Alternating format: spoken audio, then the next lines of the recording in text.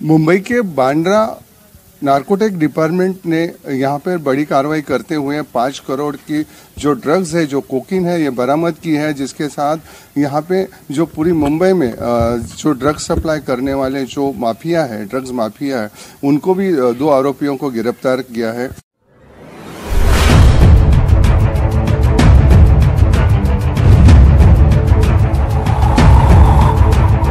Drugs और मुंबई का पुराने ज़माने से नाता चला आ रहा है और बड़ी पूरे मुंबई में ड्रग्स का कारोबार बड़ी मात्रा में चलता है। और ये जो कार्रवाई आज नार्कोटिक डिपार्टमेंट की ओर से की गई है, ये बहुत ही बड़ी कार्रवाई है। और जो सप्लायर है पूरे बॉम्बे में जो पूरे मुंबई में जो ड्रग्स का कारोबार करते हैं जिस जो इसके मुखिया हैं, इन दोनों मुखियाओं को आज बांड्रा की सेल ने, नार्कोटिक डिपार्टमेंट ने अरेस्ट किया है और इनको कोर्ट के सामने पेश किया है।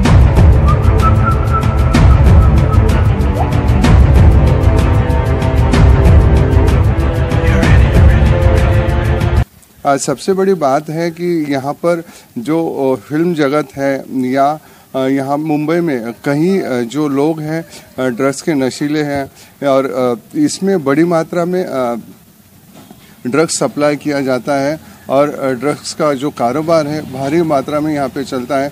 यहाँ पे तकरीबन पाँच करोड़ का ड्रग्स यहाँ पर बरामद किया गया है और पुलिस और ये इस केस में कितने आरोपी है और कहाँ कहाँ से ड्रग्स आता है, कहाँ कहाँ सप्लाई होता है, इसकी पूरी जाँच यहाँ की पुलिस कर रही है।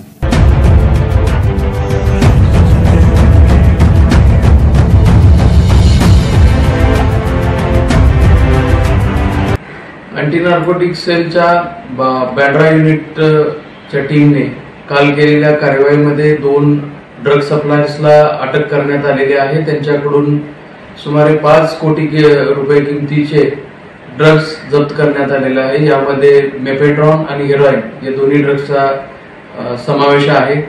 हे दोन्हीही अटक करण्यात आलेले व्यक्ती हे हेरॉईन आणि मेफेड्रॉन याचे मुंबई सबर्बन मधले मोठे सप्लायर्स आहेत आणि त्यांनी हा कॉन्ट्राबँड कुठून आणला होता याबाबतचा पुढील तपास सुरू आहे.